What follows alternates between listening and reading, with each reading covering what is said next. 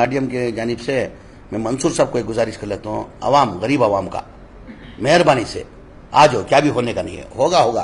तुम्हें क्या भी ले ले को गई नहीं कर बोलती तुम्हारे आड़े के हिसाब से अगर तुम्हारा साथ हकीकत आओ तुम्हें सामने बैठो हमें तुम्हारा साथ देती कौन पैसे निकालिया?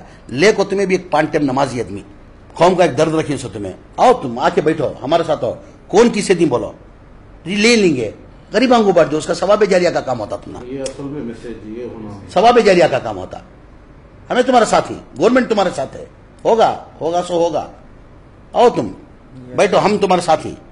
गरीब के पैसे पहुँचा देंगे। गरीब के पैसे पहुँचेंगे।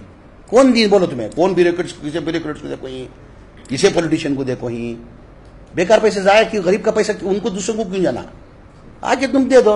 उन्होंने उनका पैसा लेके दे देंगे उनको। अभी आप मंसूर भी आको बैठे तो इतना होता सो। मंसूर खान आके अगर बैठ के मैं फलाने को फलाने को दिया बोले तो ही पैसा आता ना।